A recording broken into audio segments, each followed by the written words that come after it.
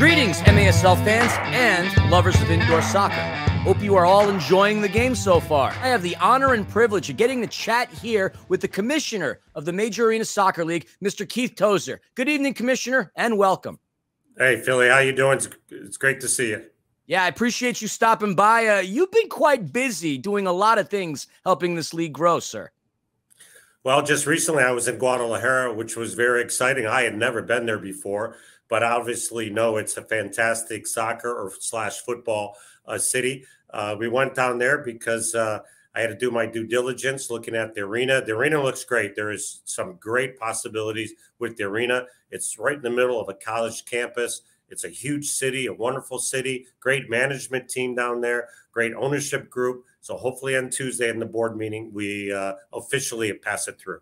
I mean, from what the uh, the press release said, potentially looking to kick things off in 23 24. Tequileros FC. I mean, congratulations on this awesome expansion. I know the doctor is a big fan of this. He literally is a tequilero within his own right, a tequila maker. Uh, talk to us about how this came about.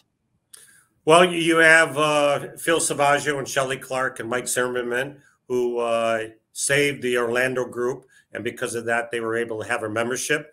So uh, we we feel that the market in, in Mexico obviously is extremely important, and we have wonderful teams in Chihuahua with the Savage and the Monterrey Flash. So uh, they had contacts in Guadalajara, and we wanted to expand down there, and hopefully everything will go well. I think it's going to be a great franchise. I mean, so exciting. Guadalajara, obviously a soccer slash football loving city, a perfect place, and another road trip that the doctor and I certainly are looking forward to going on. Uh, Commissioner, this is the 15th team in the league. Obviously, now that's going to have things a little bit unbalanced. Can we expect the return of another franchise potentially or anything else new in the horizon? Well, we got to get the even numbers, right? So hopefully within the next couple weeks, we also will have another uh, expansion membership group that's coming in. I won't say where that could be at, but that would bring us to 16, which would be maybe two conferences of eight, four divisions of four, or maybe one big group at the end of the day. Uh, we'll decide that once the season's over, but we're looking forward to that announcement also. Oh, that that that's exciting, and I know that was a hot topic. Everybody initially asked about expansion when the three of you, uh, JP and Shep, came on, and obviously you're doing it now. Now, Commissioner, this has been an exciting season of indoor soccer. The games keep getting more and more competitive. The numbers on the stream keep growing, and more importantly, the attendance in a lot of these arenas have been increasing as well. Like, what are your thoughts on the growth of the league this past couple of seasons? Uh, Philly, you know the games this season have been unbelievable. The level of of the games, the goal scoring, the goalkeeping, uh, getting out of the back, defending, it's been awesome. As you know, they call it March Madness uh, for basketball, but this is March Madness for professional indoor soccer in the MASL. We always know the last two months. Uh, once we get past the holidays, attendance always goes up. But let's take the Empire for instance. 12 out of 14 games they're winning. Jeff and his organization have been doing a wonderful job in the Empire region in Southern California. Great crowd on Tuesday. And now you got the defending champ coming in. And what better matchup? Empire versus uh, San Diego. Uh, but it's going to be fantastic. We're looking forward to the end of the season. And by the way, it's really anybody's show right now. I mean, the top four or five teams can can win the Shield. The top two or three teams in each division can win theirs. And the point total, you know, winning in overtime, only two. That one point uh, from not winning in, in the regulation could be the difference of walking into the playoffs or walking home. Yeah, there's there's a lot of competitive matches, obviously open in, in, in, all the conferences. So certainly looking forward to getting down to the wire. You mentioned it, attendance has been increasing in the Empire as well. Definitely a shout out to Jeff and the and the and the Strykers front office. A big shout out to Renee Valdez and Cindy Kyrell. Couldn't have done it with uh, without them.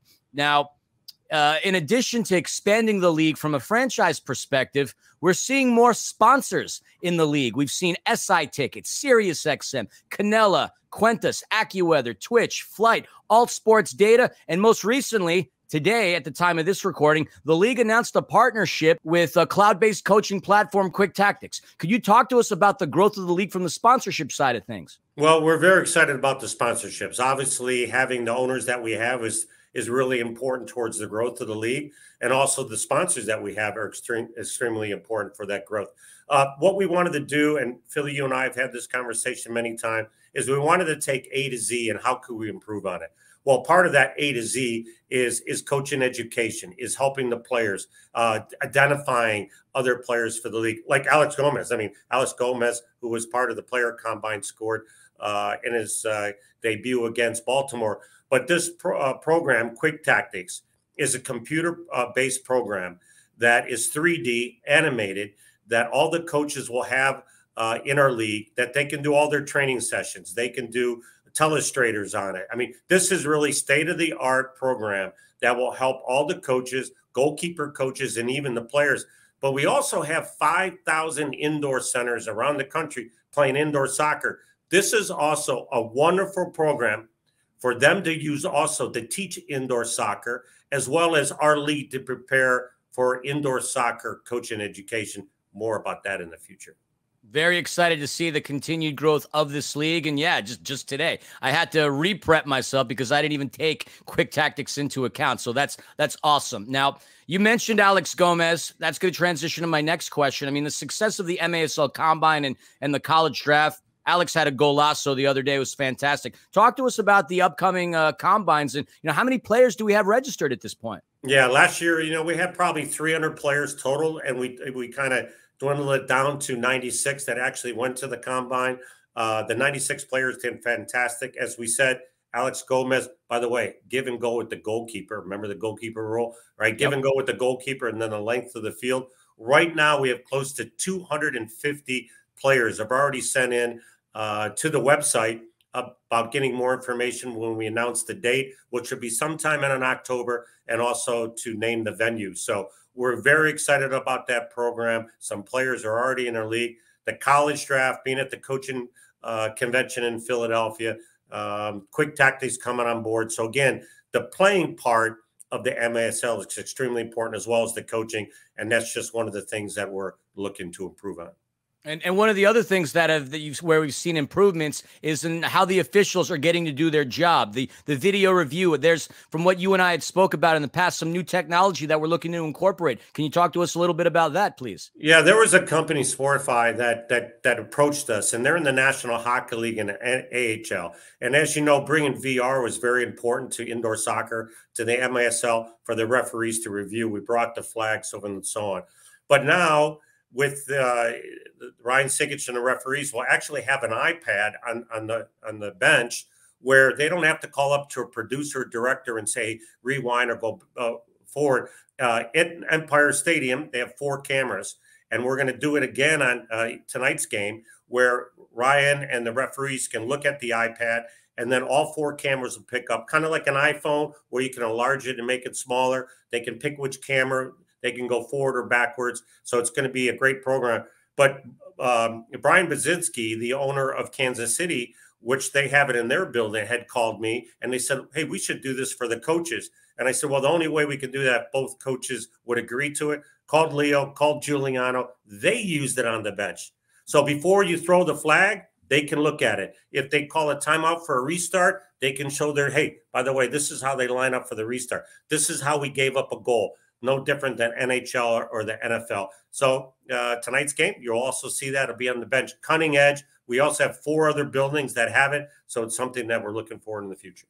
I love it. I love it. Now, I know you're a busy man and we also have a game to get back to, but uh, are there any other new and exciting things that we can look forward to? I mean, obviously, we have Tequileros, another potential franchise expansion. Uh, we talked about the combine, we talked about the technology, we talked about attendance. Any, anything new that we can look out for to? Well, I, I think the big this big story is the playoffs. I, I think the end of the regular season, the next three weeks, is going to be compelling.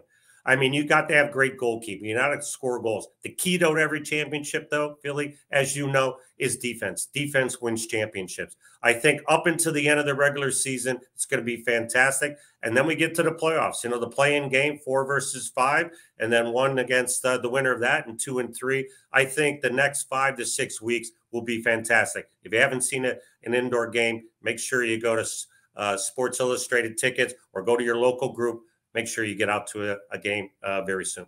Absolutely. And again, Commissioner, thank you so much for your time. We really appreciate it. And uh, we look forward to seeing you again real soon. Thanks, Philly.